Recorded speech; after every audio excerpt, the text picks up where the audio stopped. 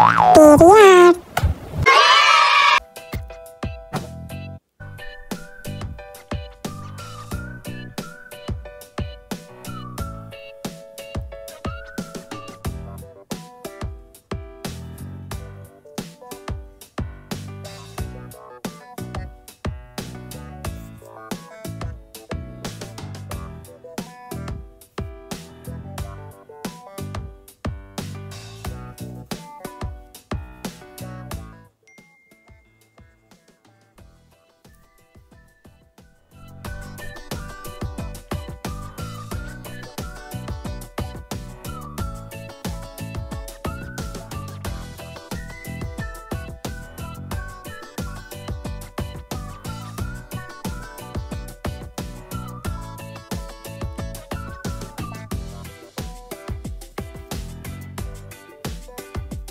After that, we will draw a small window.